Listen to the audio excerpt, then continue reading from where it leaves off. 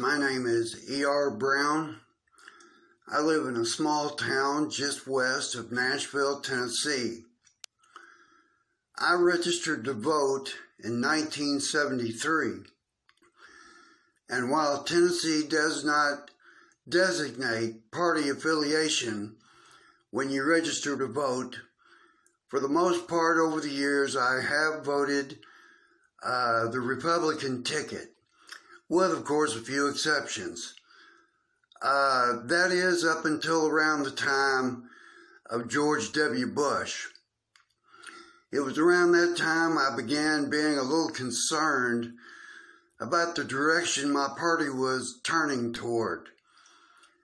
Uh, when we got to John McCain and he chose Sarah Palin as his running mate, Uh, I really grew more concerned.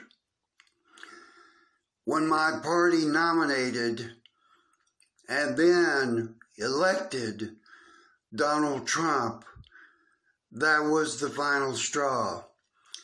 I cannot, will not support a man with no morals, ethics, or values a man who has done nothing but his best to divide this country and tear it apart in ways up until now were totally unimaginable.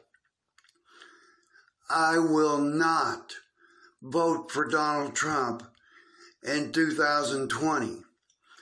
And I implore you, please do not give this man a chance to finish destroying in his words, this once great country.